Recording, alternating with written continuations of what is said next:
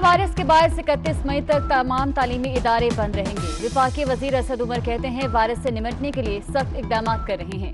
फैलाव रोकने के लिए शहरी भी किरदार अदा करें।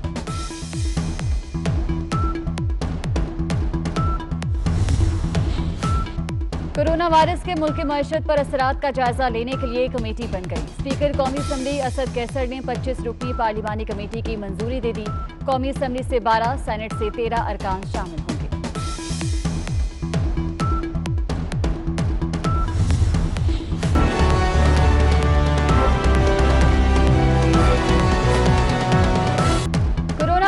बाद इकतीस मई तक तमाम तालीमी इदारे बंद रहेंगे। विफाकी वज़ीर असद उमर कहते हैं, वायरस से निमटने के लिए सख्त इकदाम कर रहे हैं।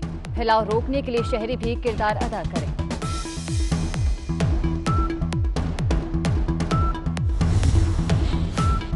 कोरोना वायरस के मुल्क मीशत पर असरात का जायजा लेने के लिए कमेटी बन गई। स्पीकर कौमी असम्बली असद कैसर ने 25 रुकनी पार्लिमानी कमेटी की मंजूरी दे दी।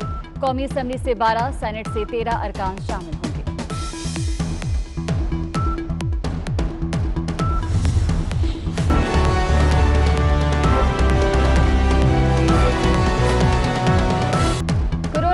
के बाद इकतीस मई तक तमाम तालीमी इदारे बंद रहेंगे। विफाकी वज़ीर असद उमर कहते हैं वायरस से निमटने के लिए सख्त इकदाम कर रहे हैं।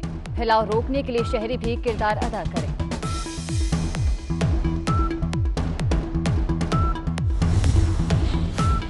कोरोना वायरस के मुल्क मीशत पर असरात का जायजा लेने के लिए कमेटी बन गई। स्पीकर कौमी असम्बली असद कैसर ने 25 रुकनी पार्लिमानी कमेटी की मंजूरी दे दी। कौमी असम्बली से 12 सेनेट से 13 अरकान शामिल होंगे।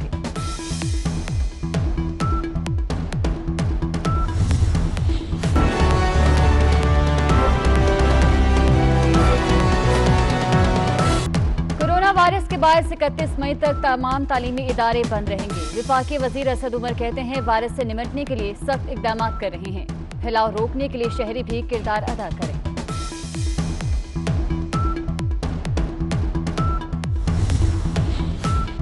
कोरोना वायरस के मुल्क मीशत पर असरात का जायजा लेने के लिए कमेटी बन गई। स्पीकर कौमी असम्बली असद कैसर ने 25 रुकनी पार्लिमानी कमेटी की मंजूरी दे दी।